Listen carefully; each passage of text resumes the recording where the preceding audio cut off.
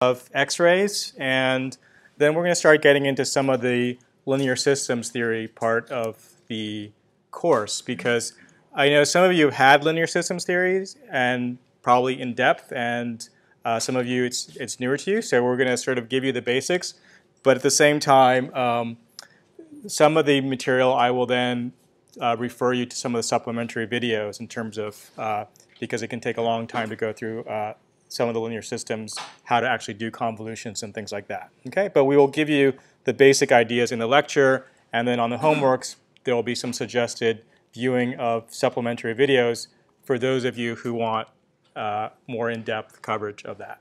Okay. Just to remind everyone, uh, for the X-ray system, it's fairly simple. There's an X-ray tube that gives off X-rays. Uh, it goes; those X-rays go through the patient, and whatever X-rays make it through uh, are then detected uh, with a film, or these days with a digital detector. so one thing we talked about is that a lot of the X-rays that are actually generated don't actually make it through to the film. Okay. So um, in terms of even when they're leaving the tube, these low energy X-rays, a lot of them just don't even make it out of the film, the, the tungsten anode. They just get, they don't have enough energy and they have further interactions and so they die off. Uh, in addition, um, because we know that a lot of the low energy X-rays aren't actually going to make it through the body, uh, we don't want to have unnecessary radiation. So there's actually an additional filter that the book talks about where they'll actually put metal around the tube to decrease uh, further some of those low energy X-rays so that the amount of X-rays actually going into the body is even, is even further reduced. And then what actually gets the film, what's actually leaving the body, you, you see a lot of the low energy X-rays don't even make it through. Okay, so that's something to consider, especially when we do the in-class exercise, is how many X-rays actually make it out of the body. Okay. So last time we talked about attenuation, and uh, the bottom line is it's fairly simple concept. It's basically an exponential decay that depends on the attenuation coefficient and how far you've gone through the object.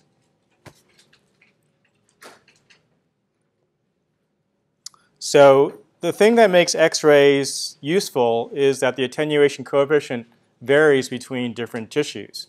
If the attenuation coefficient was the same for all tissues, then there would be no information, right? You wouldn't be able to detect uh, what's different in the body. So uh, by far the thing that's dense, and so in general the attenuation coefficient is proportional to density. The more atoms there are per unit volume, the more interactions there are going to be. It also de it does depend on somewhat the composition um, of the materials, um, but to first order, density is, is one of the primary determiners. So uh, bone tends to be the most dense uh, object in your body, and so that is going to have the highest attenuation coefficient. And in this curve, it's followed by muscle and then soft tissue or fat. Okay.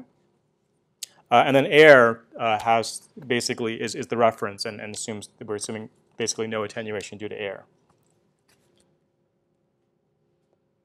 So um, there are basically um, these different attenuation coefficients, and as you can see that uh, the bone has the highest attenuation coefficient, especially at 20 keV. But you notice once we get out to higher energies, the attenuation coefficients become quite similar. Okay, so we need do we need do need to be operating in a zone at an energy level where there are sort of differences in the attenuation of, of the tissues. Um, so one of the the uh, concepts that the book introduces is to give a sense of uh, you know, how much a material can attenuate is what's called the half value layer. Uh, basically, that's just how far you can go or how thick the material can be before the intensity is decreased by a factor of 2, okay, or decreased by a factor of 2. So basically, when n over n naught equals 1 half, we're going to have, that's going to be equal to e to the minus mu, the attenuation, times the half value layer, okay? Uh, this should be a, a L, so that's a log, natural log. And so that's just, um, given the attenuation coefficient, you can always calculate the half value layer. And it basically, you can see here, it's inversely proportional to attenuation coefficient, uh, which makes sense. Uh, so some these are the half value layers. Basically, um,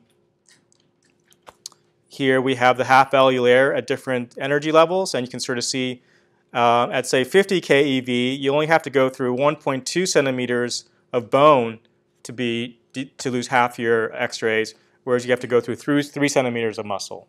Okay, so that's just a way to look at that. Okay, so let's do a really simple example. Um, this is actually a little more applicable to CT than X-rays, but it actually uh, is probably the, a good warm-up uh, example to go through as we sort of build on the complexity. So here you're asked to plot the intensity profiles along the x-axis and the y-axis. So let's just go through this example together. So for example, this is my x-axis, okay? And just looking at this, this attenuation coefficient is 2, this is 4, okay? So the yellow's got a lot more attenuation to it. So, um, and plus we're going through much more distance. So just in terms of intensities, um, we expect the intensity to be higher here than here, right? So that's the profile of that, okay? So just without even doing any math, we know that there's going to be less intensity making it on the right-hand side versus the left-hand side. Uh, and then the, the value here is just going to be e to the minus 2 uh, times 2, or e to the minus 4. Okay? Uh, and here the intent, the value is just e to the minus 3 times 4 equals e to the minus 12. So that's going to be a lot smaller than the left-hand side, but just for drawing, it doesn't really matter. All right, so that's pretty simple. And then if we plot over here, let's do the, the y-axis. Okay. So once again, now here it's a little harder to know what's going to be higher or bigger, right? So until we do the math, we won't really know. So the extent of the intensity is going to be here. Uh, there's going to be some value here. This is only going to go through 2 centimeters, right? Right. So this value is going to be e to the minus 8, right? Because it's just 2 times 4. And then here, we've actually got to figure out this one, we have to go through 2 centimeters of this, so it's going to be e to the minus 8 right, times going through 2 centimeters of this, so that's e to the minus 4. Okay, everyone got that? Okay. So this is obviously going to be less uh, because it's actually, it's gone through more attenuation. Okay? So that's what we're just looking for when we're looking at intensity profiles.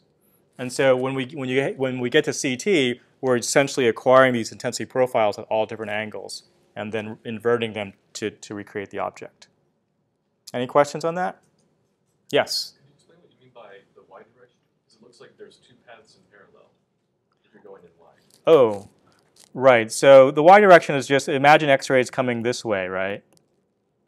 So, and then we're looking at the profile along the y direction. Does that make sense? Okay. So yeah, so here, in this case, we assume the x-rays are coming down here. Whoops. And then we're looking at the profile in the x direction. Here, we assume the x-rays are coming from this side, and then we're looking at what makes it onto the y-axis. Okay, so you'll see the same thing when, we, when you get to computed tomography. So you always imagine the x-rays coming from one side, and you're looking at it from the other side.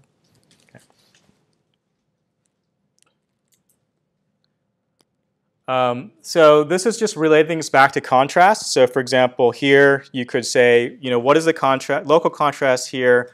Um, in this case, we're saying A is the background. And here where you have this little nodule, this thing that's a little different, that's what we're calling our target.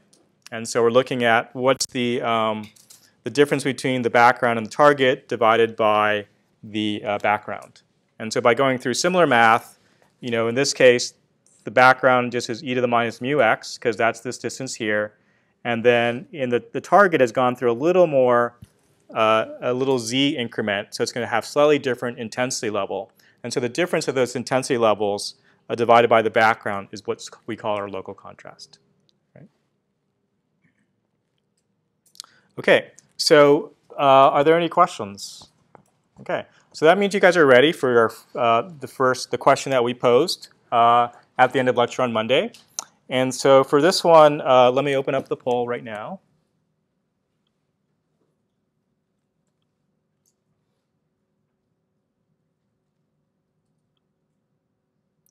Uh, so should be able to see that. So basically, and, and for all these exercises, feel free to talk to your neighbor. I mean, be collaborative, uh, discuss things. It, you know, this is meant to sort of get people thinking about this. So basically, what is the, you have choices of four different energy levels. What energy level, you're the radiologist, what energy level should you pick? You want optimal contrast between bone and fat. Okay, so take a minute, go ahead and discuss if you want to, and let's see what people think.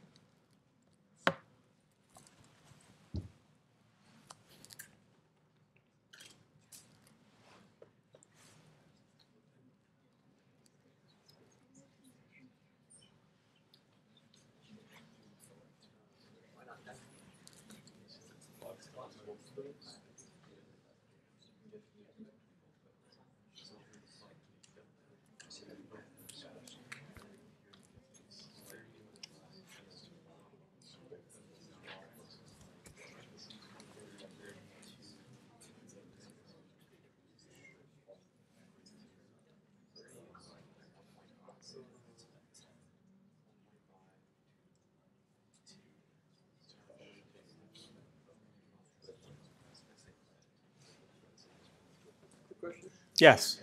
Do we assume that all of those energy levels can go through the body? Um, you can assume anything we've talked about in this class, including 10 minutes ago. so yeah, so that's, that's the actually important thing to think about. Yeah, so as you're designing these systems, you have to think about everything that's going on. So yeah, so that's a good question. Yes? Sure. I'm just scrolling up a few slides uh, at the request of, so this is the relevant slide. Okay.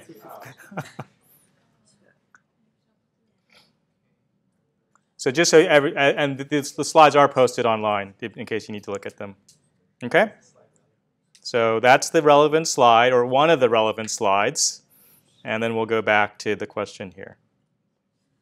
Okay, so, whoops, where are we? Here.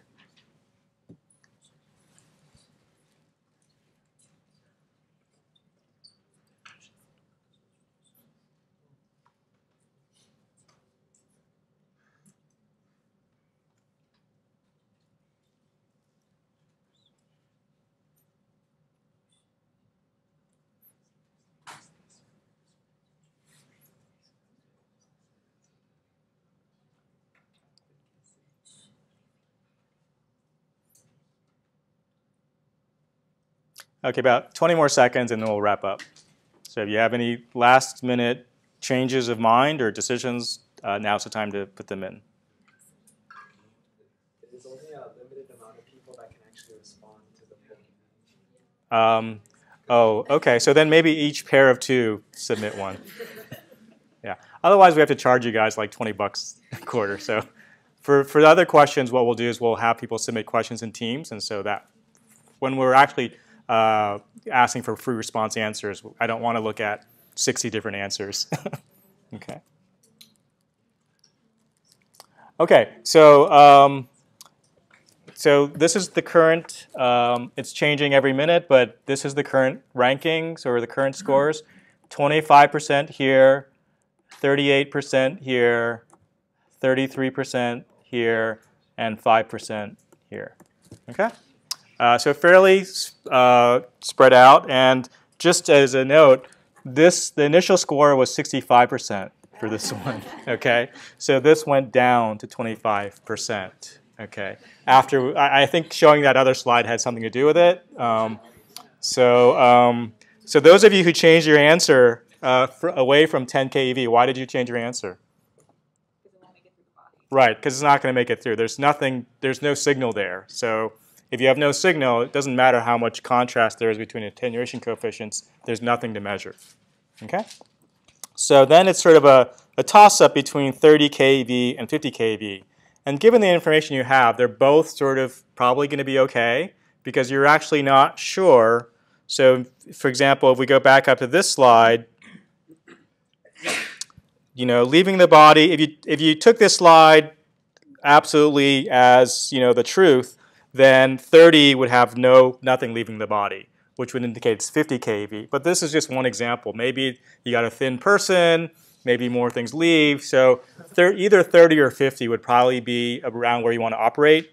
Uh, you probably don't want to be at 100 because as you can see um, in this case, for, for most cases, uh, you're not going to uh, have anything. 100 kV is pretty high to have the voltage there. So the, the, the, likelihood of someone having cranked up the voltage to 100 is probably not that high. Okay, but it could have been. I mean, someone could have just cranked it up to like a thousand or something and burned the patient up, and you might have good contrast. But in general, um, uh, you know, 30 or 50, given what you know, is probably a little more uh, a, a good initial guess. Okay, any questions? All right.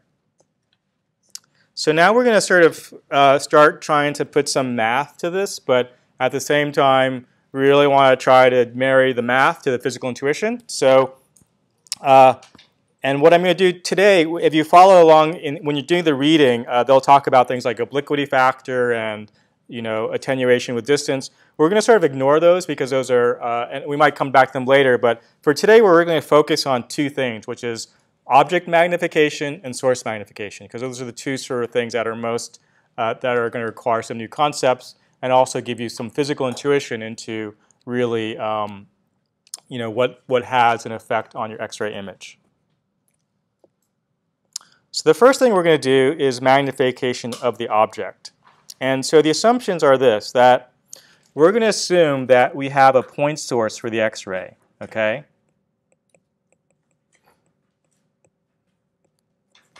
So imagine an ideal point source, okay? In reality, we can't have a point source, but for now, we imagine an ideal point source that's just giving off x-rays uh, in all directions. Okay, we have a collimator. Is that us or no? Oh yeah. Okay. This is a test. No action is needed. All right. So, okay. What does that mean? It's a presidential test? for the nation. For the nation? Yeah, yeah, yeah. Really? like, if the president deemed that there's some national emergency, like they just send out an alert to everyone. Yeah, I'm not going to go into that. That would that would be the whole. okay, there's laws. Don't worry about it. okay. Um, great. So that we didn't launch, launch a nuclear thing or anything. Okay. So um, assuming that we're not at war, uh, let's continue. Um, so basically, the, the key things here are there's D, which is the distance between your X-ray and your film or your detector. And the other quantity is Z, which is the distance between your X-ray and your object. Okay? So those are the only, D and Z are the only things you need to keep track of for now. And the magnification is simply equal to D over Z. Okay? And so it's always going to be greater than 1. So greater than or equal to 1. So keep that in mind. Okay. So what that's saying is it's always going to magnify your object. All right. And so you can sort of think about this relationship. So if I have uh, my source back here, and I think about the x-rays that are going to intersect with the edges of my object, okay, then they are going to form an object of this size here. Okay? And um, if I have, if I get my object closer, my source closer to my object, all right, so I move my, as, as, the, as the object moves closer to the source, then the path the x-rays are going to take is going to be a little wider before it hits the film. And so you see that's going to lead to a magnification of the object. Okay? You've all done the same thing with a flashlight in your hand probably. You know, as you move your hand closer, it gets bigger on the wall. So you already know the answer. Okay? So that's magnification of the object. Uh, these are some examples of that. So here d over z is probably uh, 2, and so this is like d over z equals 2. Looks like it's magnified by about 2. Here it looks like d over z is maybe, I don't know, 3 or 4, maybe 4. Okay, so much more magnification. And here d over z is probably, I don't know, 1.3 or something. So it's not magnified as much. Okay, so that's fairly simple idea, but just uh, going through it so we have it.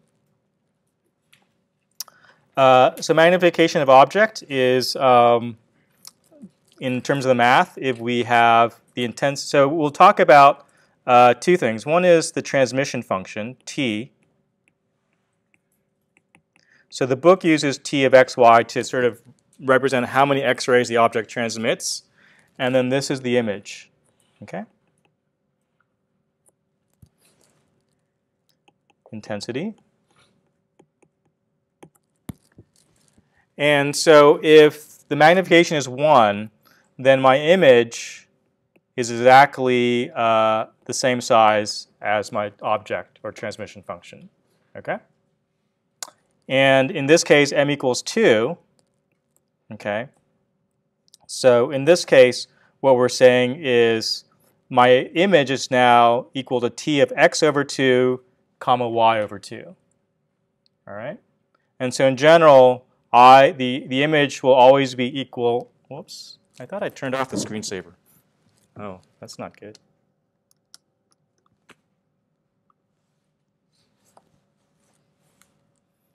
Okay, so we're back. Um, so this is equal to t of x over m. So this is like t of x over m, y over m. All right. So uh, you'll want to get used to looking at things that are scaled because there's going to be a lot of scaling. So um, you know the easiest thing to think about is you know when you have x divided by some number bigger than one, it's going to dilate, and if it's less than one, it's going to shrink it. All right. Let me just turn off the power saving on this. see. Yes. Is there a reason why we divide the transmission coordinates by the magnification instead of just multiplying the image coordinates by magnification? Uh, yeah, just just let me just turn off this this thing. So, uh, just give me one minute. This is the first time I've used this setup, so it's.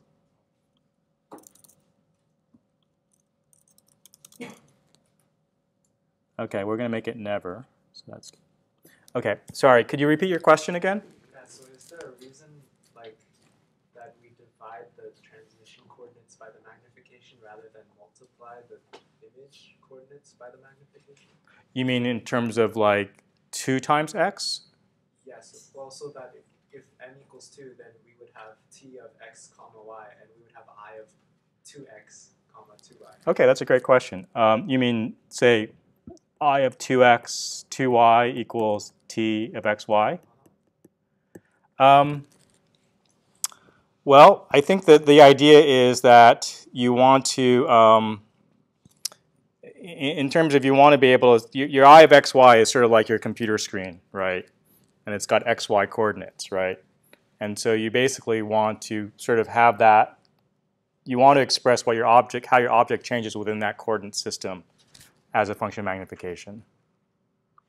Otherwise, you could do it the other way, but your life will get very complicated soon. so this is probably, you want to sort of, uh, in general, there's lots of different ways of writing things, and so what people have, you know, what generally you want to always do is go after the thing that's most simple and least confusing. And so in general, you want to just be able to think about, I have an image, and how does this image relate to my object? Okay. Right. Okay, so here's the next poll. Um, given what you know, and let me open up this poll, what is the optimal distance between the source and the object?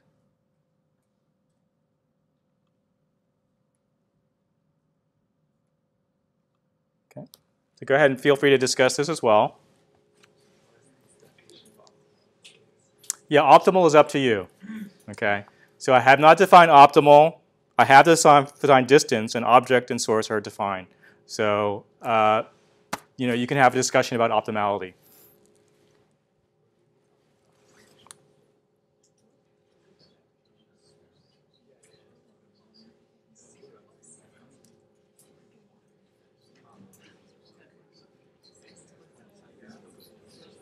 Yeah, so, so we go up on all five. At the, it's your example. I think so, that's what I was thinking. Just the idea like D would keep it the same size as the outside, so you would have one thing and it was just one. Okay.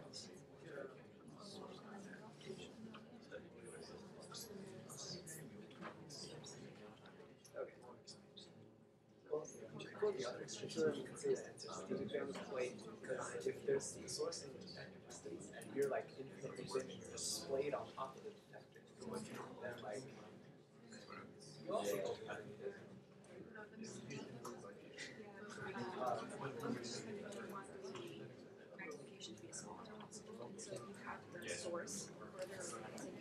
Watch it be like one of two, for some random reason.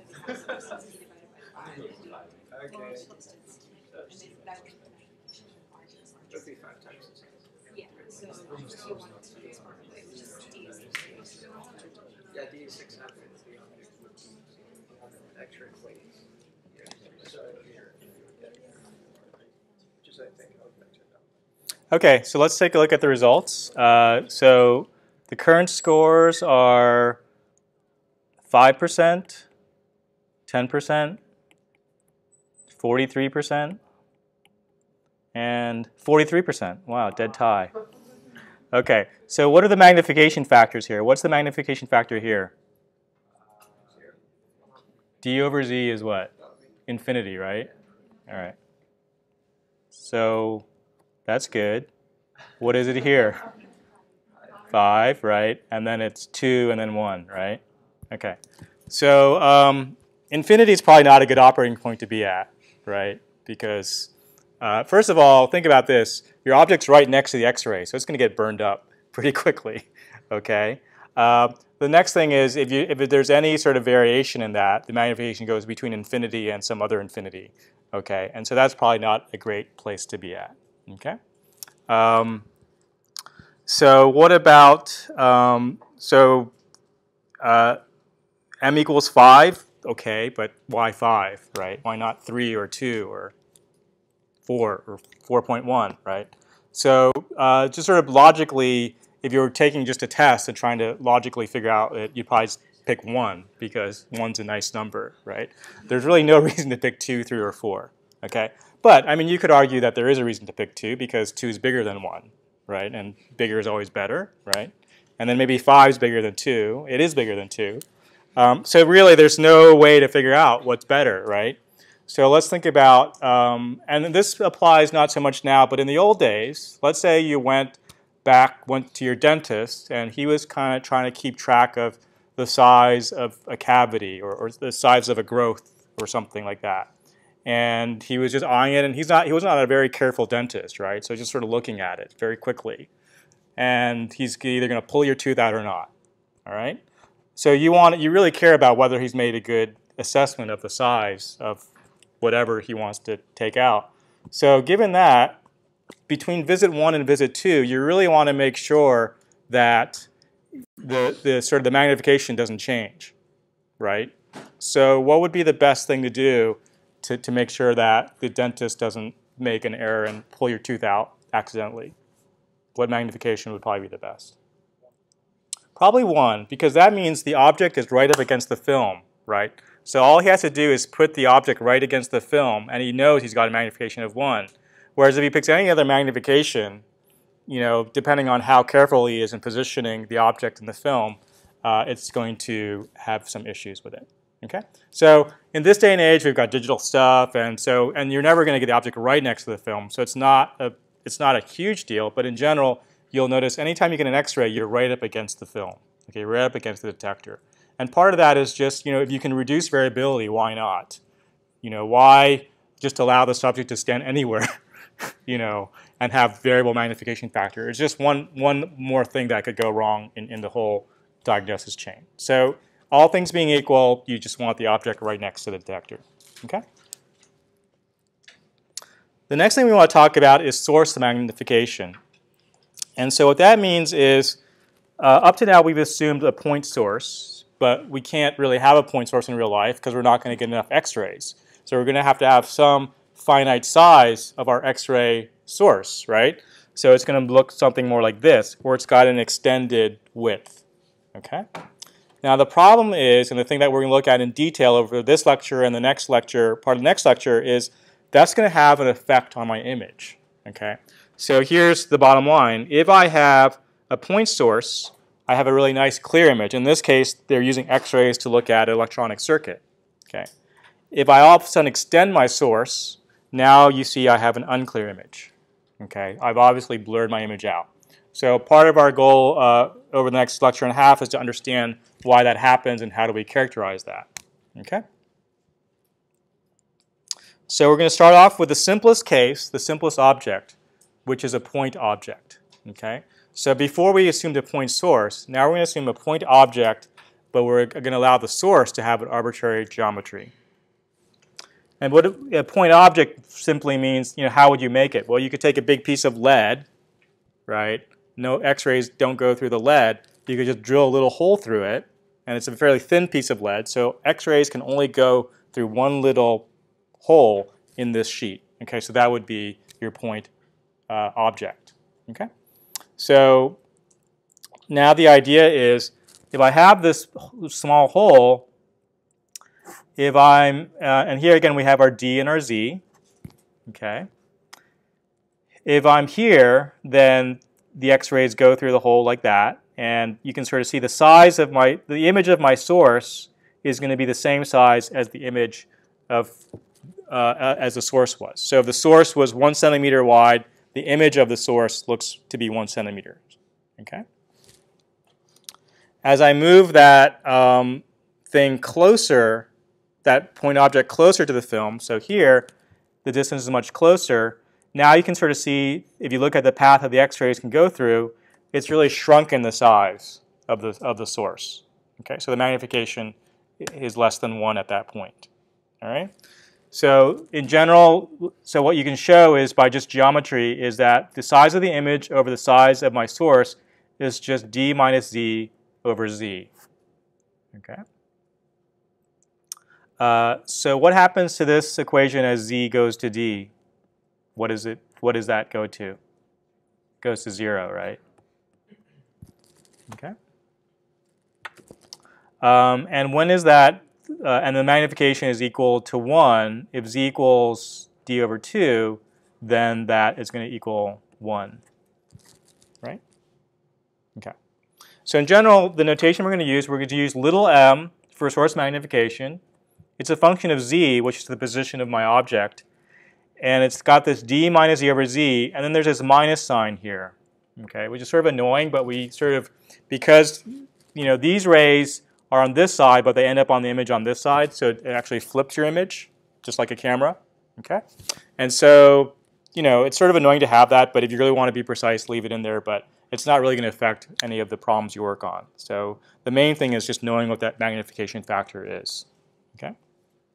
And so m, little m of z is equal to 1 minus m of z. Okay. All right, so, um, so these are three examples. So in this case, we have uh, m equals minus 1. Right, so let's actually, we'll just have that minus d minus z. So we have, it's minus d minus z over z. Okay. So in this case, uh, z was equal to d over 2. So d over 2 over d over 2 is just 1. We have the minus sign, m equals minus 1. In this case, it looks like z is maybe equal to, let's say, 0.9 d, right? So we would have uh, 0.1 d over 0.9 d, and so that would be equal to 1 ninth. Okay, so that's shrunken my source. And if z is really small, let's say z is equal to 0.1d, then we'd have 0.9d over 0.1d equals 9. So in that case, it gets magnified quite a bit. Okay. So the problem is that, you know, when you have this point object, what ends up on your film is a picture of your X-ray tube. Okay, and you didn't, you're not going to the doctor to see an image of the X-ray tube, right? So we need to figure out how to reduce it so we're not actually we're actually seeing our object and not seeing the X-ray tube. Okay. Okay, so once again, given what we just talked about, all things being equal, and not knowing what optimal means, what's the optimal distance, z, between the source and the object for minimizing the effects of source magnification? Okay, so go ahead and take a look at that for about a minute.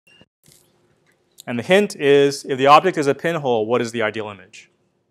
Okay.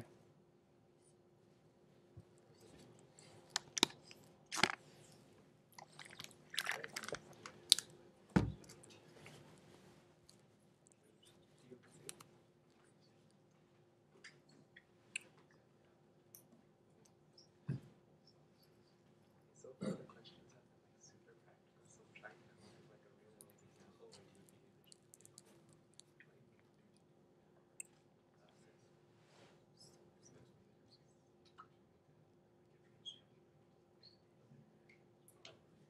That's true.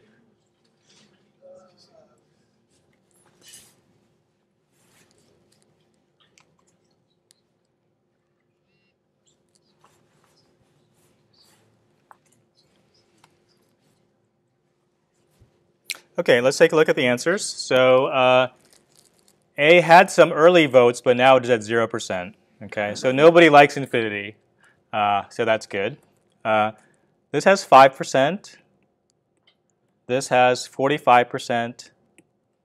And this has 50%.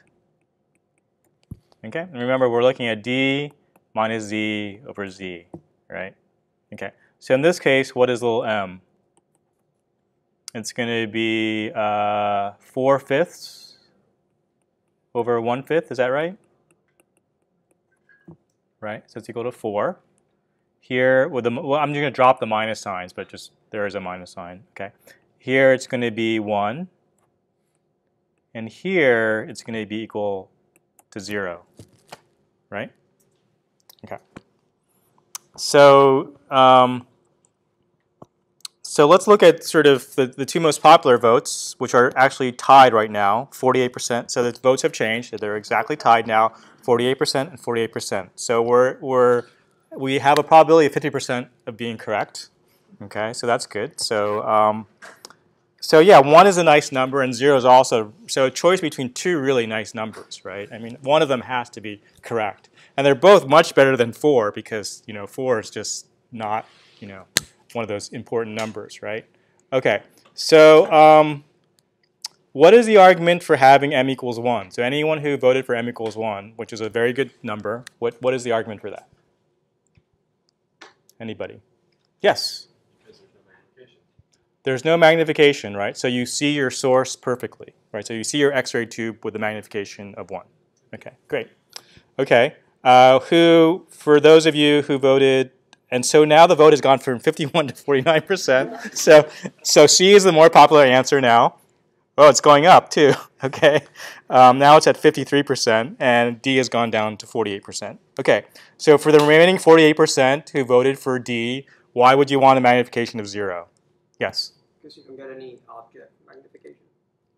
Because you what? Your- Oh, no object. yeah, Right. object So right. So from our previous poll, we said that was the, that was good for minimizing object magnification, and so we just inherit that that advantage. Okay. Any other reasons? Yes. Uh, we want to minimize the source magnification, so in that case, zero would be better to not get the uh, two image on a screen.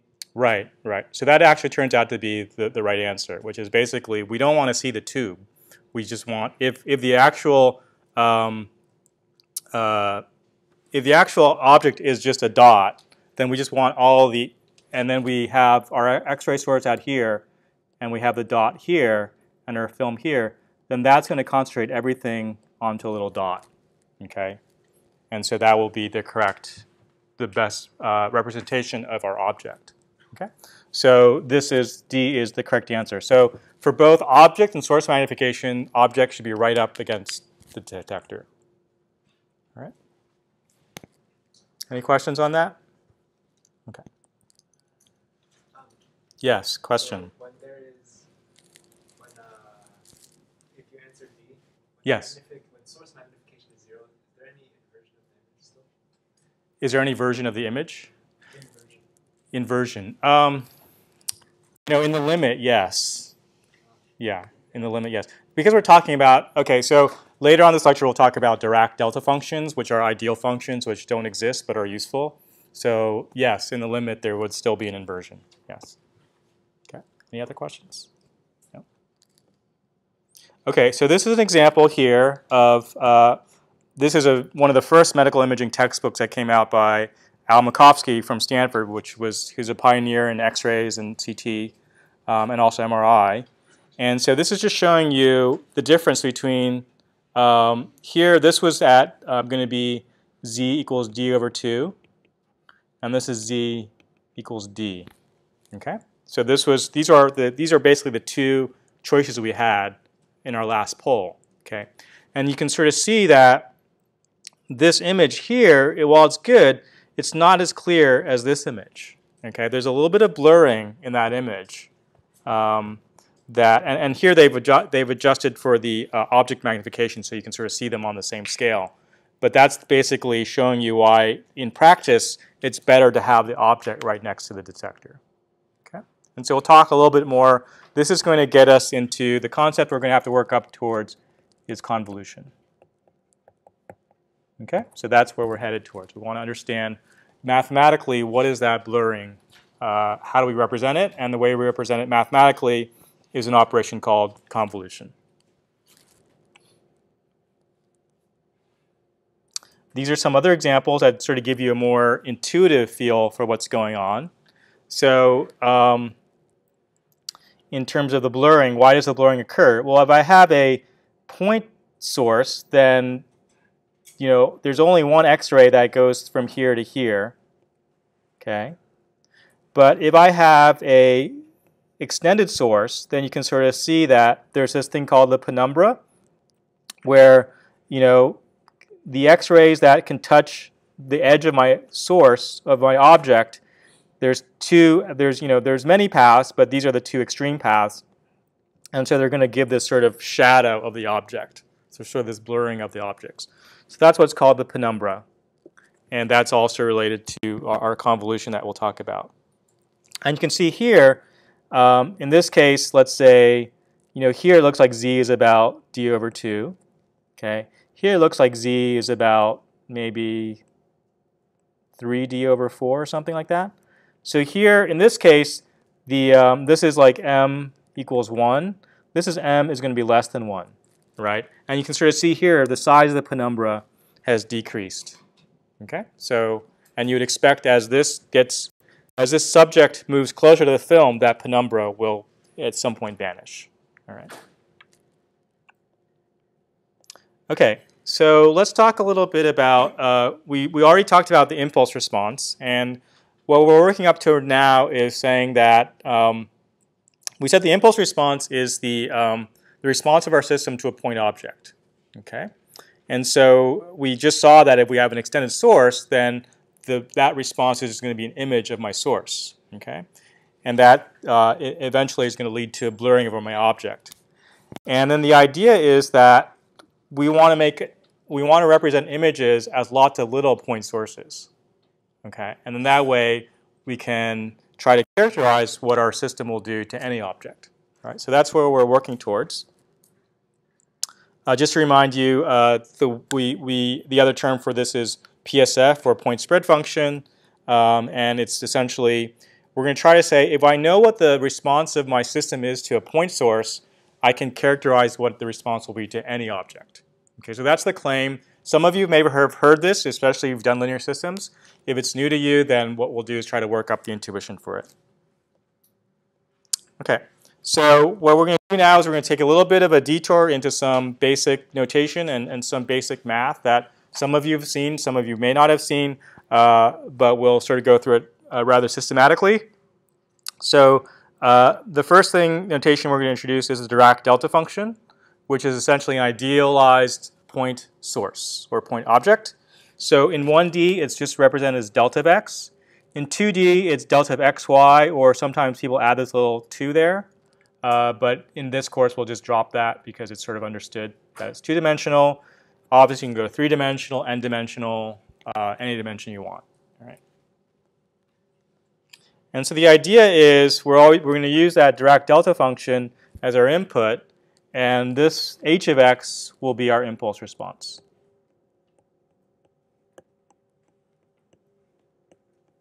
Okay, and so uh, for an X-ray system, that would just be the X-ray image of a point object. So that's shown here. So this is now we're trying to get mathematically what we mean by this source magnification. Okay. So the source here is represented with this function here. So it's got some width here. So some there's some width to this source. Okay. And basically it's saying that it's 0 here and let's maybe say it's 1 here. Okay, so that's, we're representing a source as some function, s of x. All right. Representing our object, so this is the source. We're representing our object with a delta function. Okay, it's got some scaling term here, but forget, don't worry about that for now. The main thing is it's just a delta function. we'll talk about what a delta function is, but just for now, it's our representation of a point object. Okay? And what we just said is if I have this set up, then it turns out that my, um, my image is going to be a scaled version of my source. So in this case, S of x over m. There also is this other scaling factor that uh, comes through, but we're not going to focus on that too much for now. All right? So that's mathematically what we're going to have. So just to represent some notation, um, what we're going to use Throughout this course, we're going to use the rect function quite a bit. Okay, so uh, it can represent either with this um, this notation here, which, or when we draw it by hand, we might just write it like that. Okay, uh, it's fairly simple function. From minus a half to half, it's one. It's zero everywhere else. In two dimensions, it's basically only one within this square, and it's zero so 0 everywhere else. So 0 here, 0 here. Okay. Uh, so to, to, to two dimensions, we'd write rect of x comma y, which just happens to be equal to rect of x times rect of y. Okay. So you want to sort of get comfortable with that, and you also want to get comfortable with things like rect of, say, like x over 2. Okay or maybe rect of 2x. Okay? So it looks fairly harmless, but uh, it's off, uh, often a very common source of mistakes, so I'm just going to go through it just so we, we've gone through it. So what does of x over 2 look like? Well, we know that the, the, the critical point is 1 half. So we say when does x over 2 equal 1 half? And that's when x equals 1. So we know between minus 1 and 1, it's just going to look like that. Okay. Now, instead of going from minus half to half, it goes from minus 1 to 1. It's 1 there, 0 everywhere else.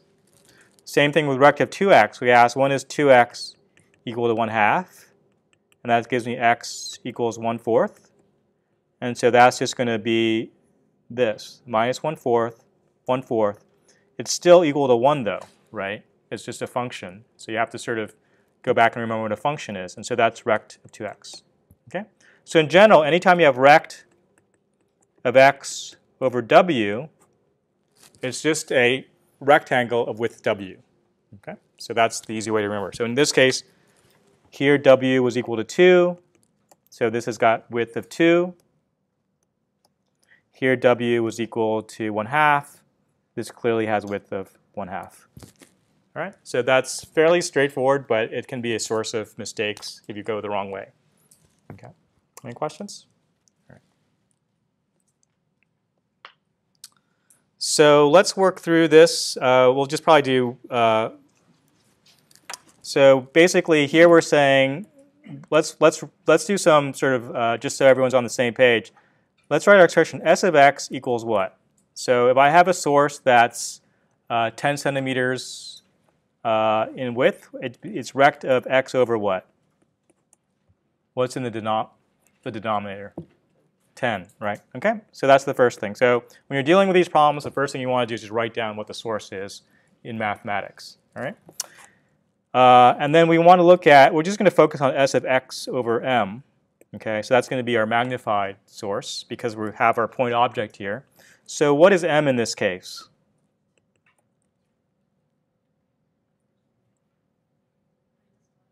It's equal to minus 1, right?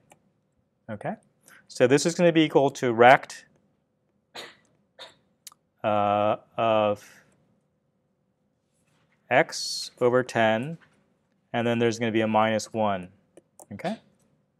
But since rect is symmetrical, that just equals rect of x over 10.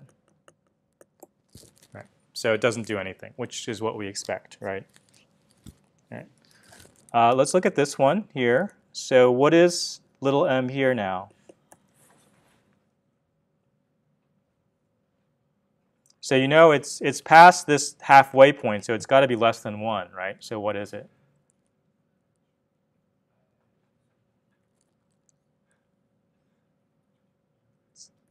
So we've got z d minus z is going to be 0.1, right? And then we divide by 0.9, so it's like 1 ninth. Right? Okay. So then, and then there's a minus sign, but um, you know, since everything's symmetric, it's not going to really matter. So we have s of x over m is equal to s of minus 9x right? Um, and that is equal to rect of what? Minus 9x over 10, right? So what is the width of this function?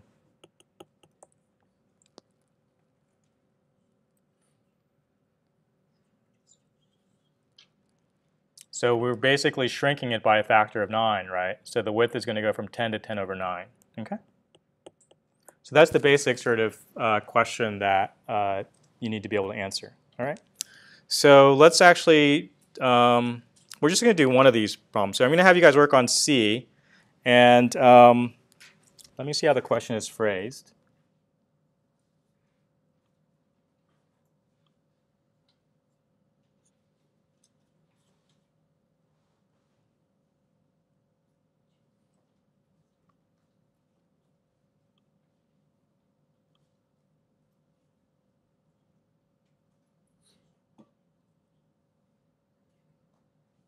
Okay, so for this one, uh, it says parts B, C, and D, but I just want you to answer, and this is going to be slightly different because this is a free response question. So um, this is what I want you to do. Um, so you go to the poll, and um, pollev.com, B280A. You're just going to do part C, and what I want you to do is I want you to, uh, first thing I want to do is in brackets, put the names of the people in your group. So just work in groups on this. So, you know, it'd be like Bob, L, da da, comma, whatever. You know, just put the names of the people in your group, and then followed by a colon sign. Uh, I'm looking for two things. One is an expression for the image in, using the rect function, okay? And then, uh, so give me a rect function with something on the top and something on the bottom, okay? And then tell me what the width is. All right? So should be fairly straightforward, but I think it's good just to have everyone, make sure everyone's on the same page. So just do part C, um, work in groups, and uh, don't hit return until you've entered everything. So don't put your name and hit return. Put your names, colon, answer. So the names and the answers are all together, okay? That's okay. We're just, this is the first time we're doing it, so that's, that's expected. All right, question? Scroll up, like here? Yeah. Okay.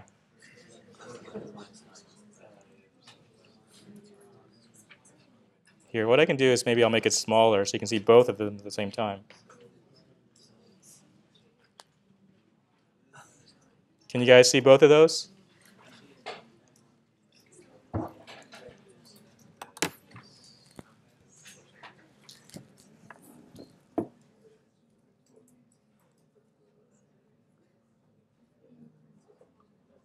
nosotros.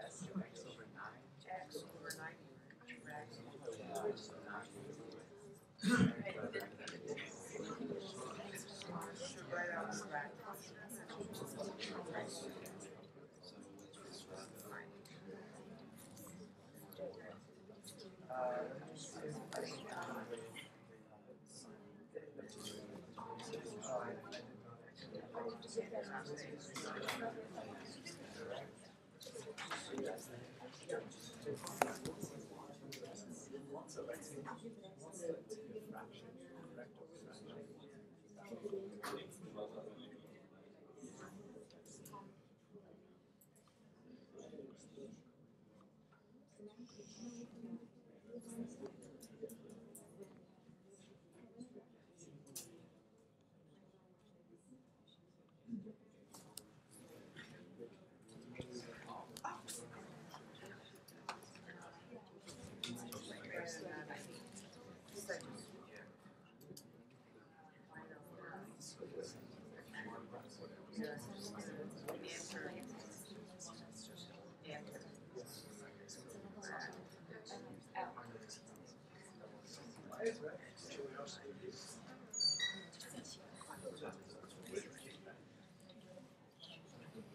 Okay, about one more minute. So submit your answer in the next minute.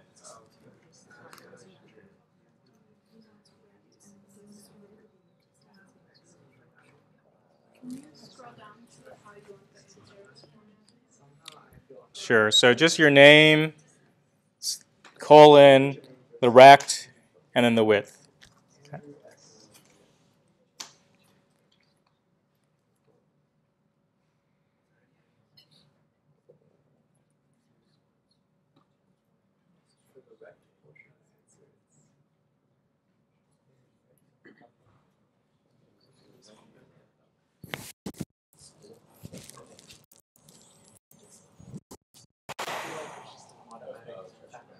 Oh, is it because it's ten centimeters?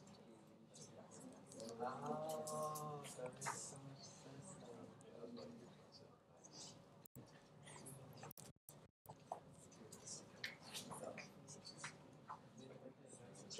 It's so conceptually fluid, like compared to everything else.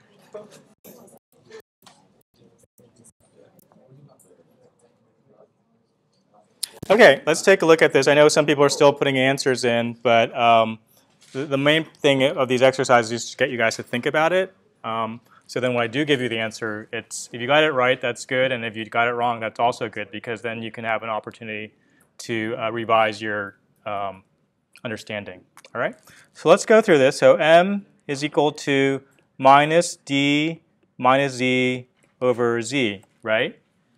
Uh, so in this case, that's just equal to minus uh, 1 minus 0.1, which is 0.9, over 0.1 equals 9, or minus 9. We'll drop the minus just because, you know, it's symmetrical, but it's, it's 9, okay? So, so we know, even without thinking about it, we know that it's going to magnify my object by 9. So my object has width of 10, so if I multiply by 9, what would the width be? Just 90, right? So whatever I write down, I know at the end the width should be 90. Okay? So even if I'm not comfortable with the math, I know that at the end I can just use my sort of common sense to, to check my answer. And so a lot of this course is going to be, the math is not going to be that hard, but there's going to be a lot of opportunities to get it wrong. And so you need to use your physical intuition to say, well, does that answer actually make sense? Okay? And that's exactly the same thing you're going to need either in industry or academia because there is no answer in the back of the book. So, you know, you're going to have to say, does that answer make sense? Does it make sense that, you know, um, this, this distance that I've calculated or this weight that I've calculated, does it actually make sense? All right? So the width is equal to 90, all right? But let's write down the expression. So we said that s of x was equal to rect of x over 10, right?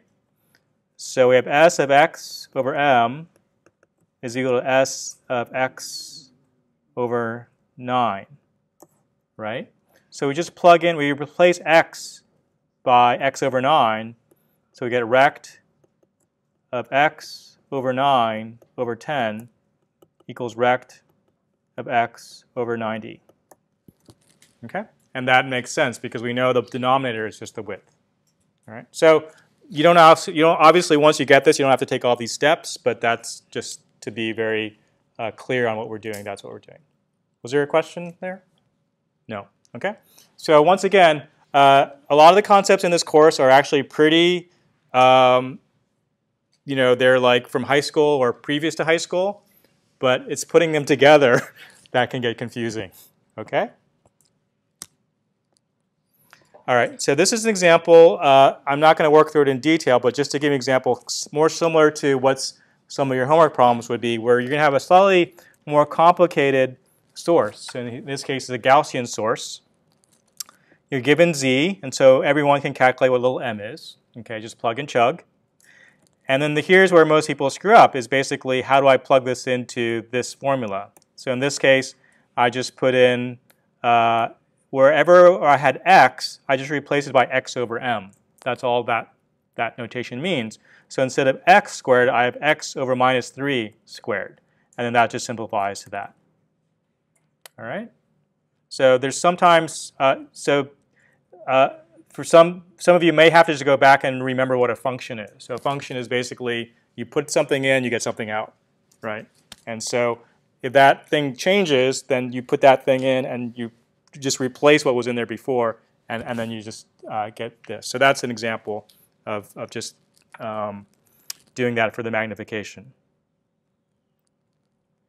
Okay, so we're actually going to work through this together. Uh, in past years, I've made this a problem, but let's just work through this together. Um, now we have our point object. Yes, question. This one? Yeah, so this one, at least for the formula for h, which is, I guess, the output of the function, we have the 1 over absolute value of m. Yes. Uh, and then if you go up to the, like the problem we just did previously that Yeah. we pulled on, Yeah. uh, what makes it so that the 1 over m has no role in this case? Oh, okay. The answer is being sloppy. So I, I, I, so the one over m should be there. So there should be a so um, so unhappy face. So there should be a one over nine here and a one over nine here. Okay, but I was sort of because I was talking about the width, I sort of simplified it so people didn't get too concerned about that. But yes, you're absolutely correct. It should be there. Okay. In general. Um, and, and in fact, what I'm doing today is I'm, I'm leaving off a lot of other scaling factors. There's other scaling factors due to uh, other things that, well, when we get to the end, we'll sort of get them all together. But in terms of what the image looks like, that's just one number at the end. Okay. And so today we're really focusing more on the geometry. But thanks for pointing that out. Okay. Okay, so let's look at this. Um, so not all objects are going to be on the axis, right? So we need to figure out what does an object look like if we move it off axis, what's the image going to look like? So here I'm at uh, still magnification, source magnification of minus 1, right? Because I'm z equals d over 2. And in this case, we can sort of think about what my object's going to look like. So clearly the x-ray from here is just going to end up here. So my object is now going to start off here at 5 centimeters. The, the, my source image is going to be there. And then this one here, this ray is going to extend like that, okay? And because you go back to like high school geometry, right? I mean, equal, you know, the, these angles are equal, right? Theta and theta, right? So therefore, that has to equal that, right? Okay. So this is going to be 10, right? And then this obviously is right in the middle. So this, this ray here is there, okay? And so um, this was, um, so this is going to go from 5. So the coordinates here are 5, 15, and uh, let's see now, 5, 10, and 15. Is that right? Okay, so that's what that object is going to look like. Okay, so essentially now we've not only got in here in this case the magnification is one, but we've also shifted it over the object. How much have we shifted the object over by? 10, right?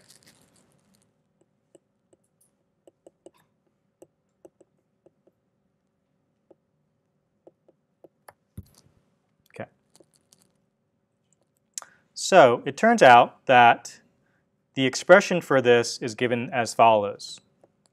We're going to have a shifted version of my object, okay, of my source. So this is a shifted source image.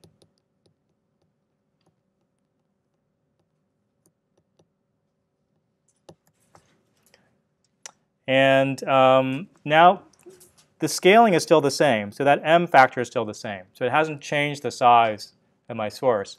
But the shift has come in here, right?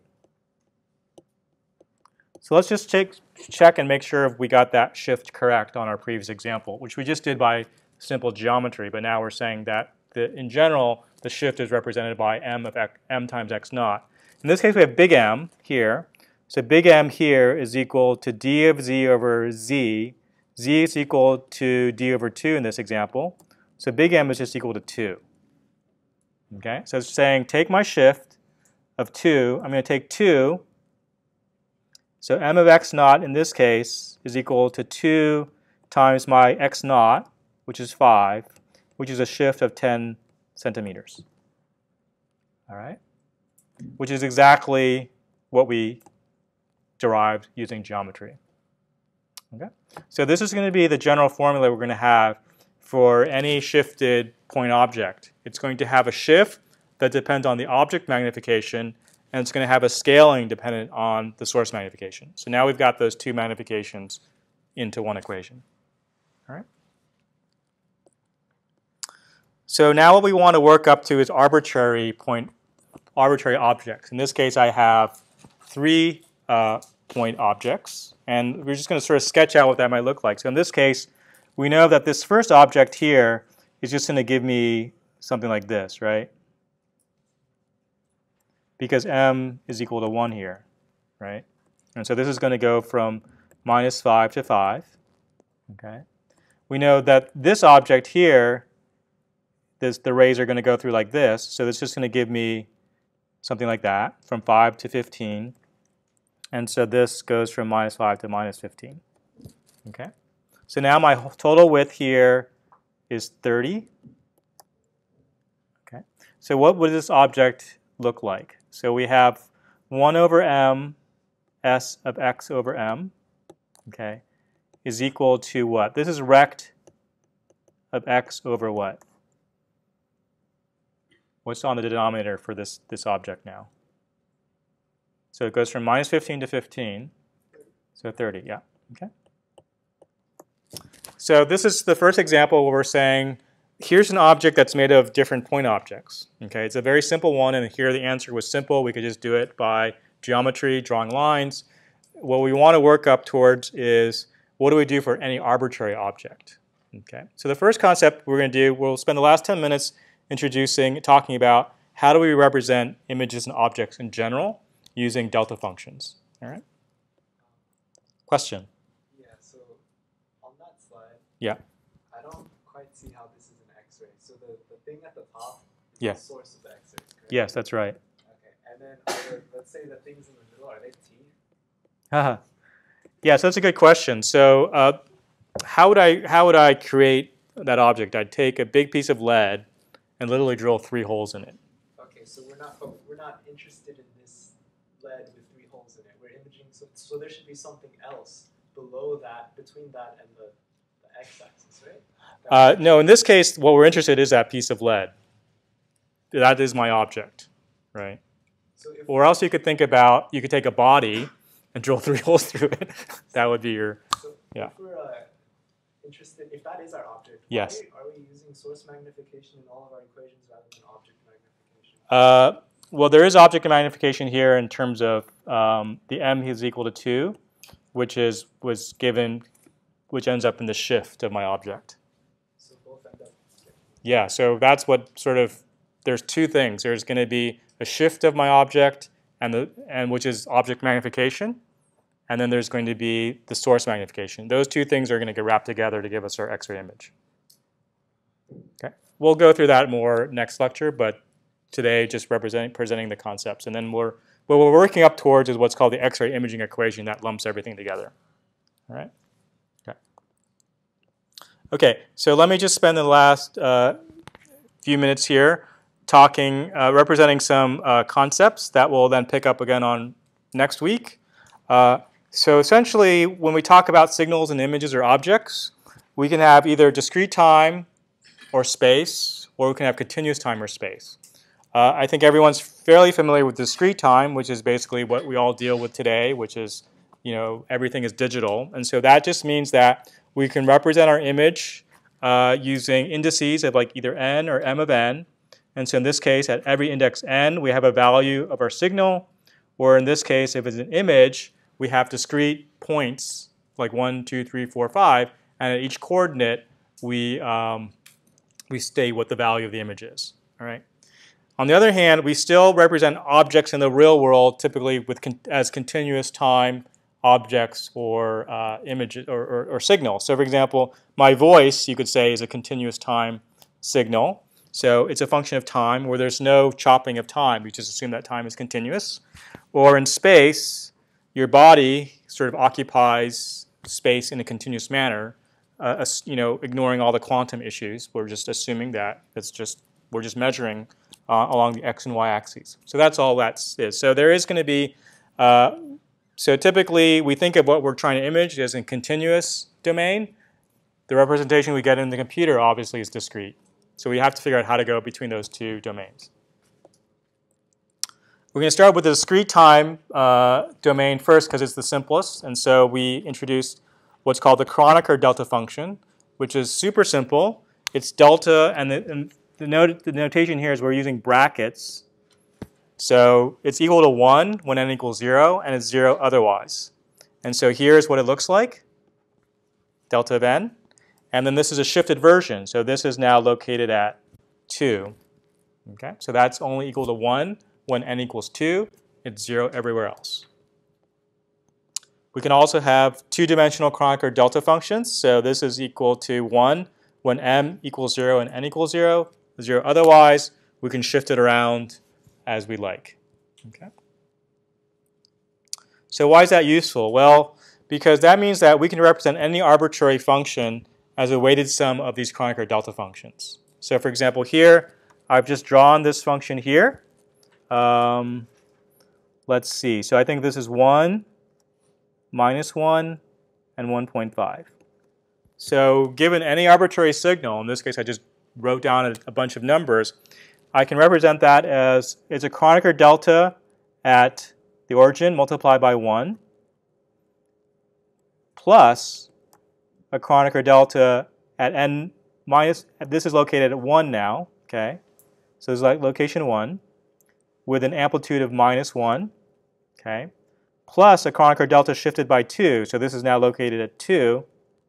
So sorry, these, these coordinates are 0, 1, and 2. Okay, And so basically any function that I have, I can just break it up into a weighted sum of these Kronecker delta functions. Okay, so it's fairly uh, straightforward concept, but it is the basis of what we're going to do. Similarly, for any 2D signal, I can take any 2D signal. In this case, there's A, B, C, and D are the values of my image. And I can just break that up into uh, a Kronecker delta with a weighting of A here, B here, C here, and D here. So the image on the left is just a sum of the images on the right. right? So that's our very simple image decomposition.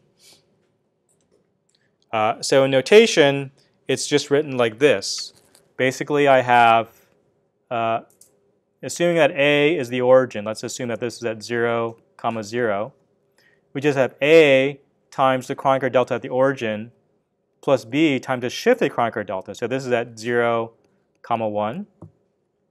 In the, um, sorry, n minus 1. Okay, so let's see. Um, looks like I've, so I guess I've sort of, oh yeah, m and n. So in this case, the m coordinates are this way and the n coordinates are this way, I guess. Okay. Um, so c is here is equal to this guy here. So that's a coordinate 1 comma 0. And this is a coordinates 1 comma 1. Okay. Uh, and so we can write that as a double summation of each of those amplitudes, A, B, C, or D. So these are the A, B, C's, or D's, and these are just shifted delta functions.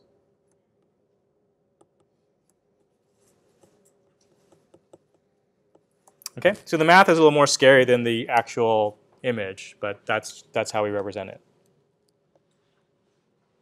So for example, this one we could write in signal expansion form. So for example, we could say that this is equal to 7 times delta of m n. Let's call this m and n. Um, oh, I know. So there is, yeah, so actually, um, before I go on, so um, the um, when we deal with images, there's always sort of this, uh, and, and the, what you'll see is on some of the homeworks, we will assign MATLAB questions because we really want you to start working with images. So even on this very first homework, there will be a MATLAB, a very short MATLAB assignment to get you familiar with MATLAB. I know most people are familiar with MATLAB. If not, and you want an extra tutorial, please send email to the TAs and we can set up an extra tutorial session on MATLAB for those of you who want sort of more uh, introduction to it. But there, you know, MATLAB goes by rows and columns. Okay, so uh, there's like rows and columns. And typically, you know, if I have x, you know, I'll have the row index by the column index. Okay, which is a little funky because typically we think of x and y. Okay, so that's where sort of this. So in this case, um, we'll just. We, so there's always that potential confusion. So just if I if I get it wrong or you get it wrong, just the end of the day, the image just has to look correct. Okay, so even when we do research, oftentimes it's like we just have to flip at the end. We flip it here or there, or you know, there's always some place in the code that takes into account what MATLAB is doing. All right. Uh, but let's just let's just for this case ignore MATLAB and just assume that these are a coordinate system. Okay. So then we have plus eight times delta. This is shifted over by one on the m, so it's be m minus one comma n. Let's do the five plus five delta m minus one n minus one and so on and so forth. So basically the idea is you want to get comfortable with the idea that any image can be represented as just essentially as pixel values at every location. So this is no different than what's done on your computer. So Kronecker delta is super nice, super easy, um, and we're at the end of our time now. So uh, we'll stop here and we'll pick up with Dirac delta on Monday. All right. Um, so yeah, so just look for the homework. It'll be posted later today. Um,